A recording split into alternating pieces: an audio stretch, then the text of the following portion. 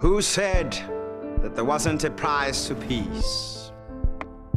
Pieces of a wilting youth fall like autumn leaves, birthing a raging mass. Young old men and women disguised as teenagers in high school uniforms bear the brunt of a freedom sold too cheap. Too cheap was this expensive act. Now our seas seek the bread we imagined to have provided. They carry our blues like a lonesome trumpet resonating harshly on the landscape of misery. Is this what we fought for?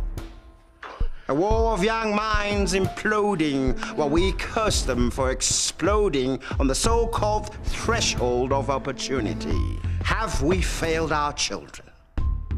Should they lay us in our graves while preparing to fill theirs across from us? Ah!